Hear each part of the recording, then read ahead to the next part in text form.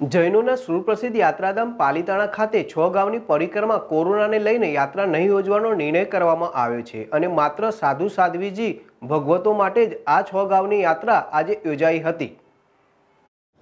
જ્યાં કાંકરે કાંકરે અનંત આત્માઓ મોક્ષ પામ્યા છે, તેવા શાશ્વત ગિરિરાજ શેત્રુંજય પર આજના દિવસે, એટલે કે ફાગણ સુદ તેરસના દિવસે શેત્રુંજય ગિરિરાજ પર કૃષ્ણના બે પુત્રો પ્રદ્યુમ્ન અને સાબુમ્ન કરોડો મુન્ય સાથે આજના દિવસે અહીં મોક્ષને પામ્યા હતા. ત્યારે જૈન જૈન ધર્મમાં આજની આ છ અગાઉની યાત્રા કરી મોક્ષની પ્રાપ્તિ થતી હોય છે એવી માન્યતા હોય છે. દર વર્ષે આજના દિવસે હજારો લોકો છ ગાઉની યાત્રા કરી કરતા હોય છે.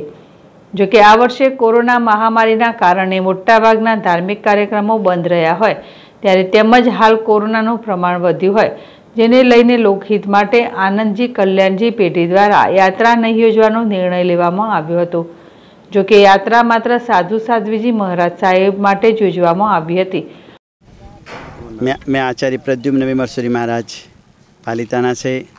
आज शत्रुंजय गिरिराज की बहुत महत्वपूर्ण दिन है। छः गाँव की यात्रा होती है। प्रतिदिन लाखों यात्री यहाँ यात्रा करने के लिए आते हैं, लेकिन कोविड की वजह से और गवर्नमेंट के रूल्स के हिसाब से बहुत ही कम यात्री लोग आए हैं। यात्रा सिर्फ़ साधु साध्वी भगवंतों के लिए, आनंद जी, कल्याण जी पेढ़ी ने और हमारे पालीताना गाँव के जो श्रावक वगैरह हैं, उन्होंने एक सुंदरतम व्यवस्था रखी थी। और हमारे सेठ श्री आनंद जी, कल्याण जी पेढ़ी ने जो यात्री बहुत ही कम आए थे उनको भी उदार मन से यात्रा का लाभ दिया।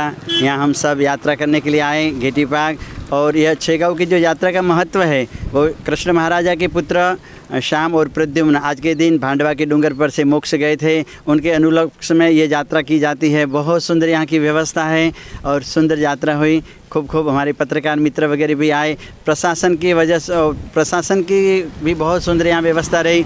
बहुत आनंद है। खूब खूब आशीर्वाद, खूब खूब आनंद धर्म लाभ કરવામાં આવતી હોય તે સદંતર બંધ રાખવામાં આવી હતી. ત્યારે આજે માત્ર સાધુ સાધ્વીજી ભગવંતો અને તેમની સાથે નજીવા યાત્રિકો યાત્રા કરી હતી. જૈનોમાં આ છ ગાઉની યાત્રાનું ખૂબ જ મહત્ત્વ રહેલું છે અને આજના દિવસે વર્ષોથી પરંપરાગત રીતે દેશ વિદેશથી યાત્રિકો યાત્રા કરવા માટે આવતા હોય છે અને આ યાત્રા કરવી એ જૈનો માટે એક ખૂબ જ મહત્ત્વની યાત્રા ગણાતી હોય છે. જોકે ગત વર્ષ કોરોના મહામારી પહેલાં આ યાત્રા યોજાઈ ગઈ હતી અને ત્યારબાદ લોકડાઉન આવ્યું હતું. જોકે આ વર્ષે સરકાર દ્વારા ધાર્મિક કાર્યક્રમો મેળાવડાઓ બંધ રાખવા માટે લોકોને અપીલ કરવામાં આવી રહી છે. જેના ભાગરૂપે પાલીતાણાને આણંદજી કલ્યાણજી પેઢી દ્વારા આ વર્ષે ઇતિહાસમાં પહેલીવાર છ ગાંવની યાત્રા સામાન્ય યાત્રિકો માટે બંધ રાખવાનો નિર્ણય લેવામાં આવ્યો હતો અને જેને લઈને અગાઉથી જાહેરાત કરી દેવામાં આવી હતી. કે માટે કોઈ યાત્રિકો આજે યાત્રા માટે આવ્યા ન હતા, પરંતુ વર્ષોની પરંપરા જળવાઈ રહે તે માટે સાધુ સાધ્વીજી મહારાજ સાહેબ દ્વારા તેમજ તેમની સાથે નજીવા સેવકો આજે પાલિતાણા તરેટીથી યાત્રાનો પ્રારંભ કર્યો હતો અને યાત્રા પૂર્ણ કરી હતી. જૈન ધર્મમાં આ યાત્રાનો ખૂબ જ મહત્ત્વ રહેલું છે અને વર્ષમાં એક જ વાર આ છ ગાંવની યાત્રા યોજાતી હોય છે. પરંતુ જે પ્રમાણે કોરોનાનો કહેર વધી રહ્યો છે તેને લઈને યાત્રિકો પણ સંયમ જાળવી અને યાત્રા ન કરવા માટે કટિબદ્ધ બન્યા હોય તેમ દર વર્ષે હજારો લાખો લોકો યાત્રામાં ઉમટી પડતા હોય છે. તેની જગ્યાએ આજે કોઈ પણ સામાન્ય યાત્રિક પાલિતાણા તળેટી વિસ્તારમાં જોવા મળ્યા ન હતા. માત્ર સાધુ સાધ્વીજી મહારાજ સાહેબ અને તેમની સાથેના સેવકો જ આ યાત્રામાં જોડાયા હતા. વિશાલ સાગઠિયા, જેડેશ ટીવી, પાલિતાણા.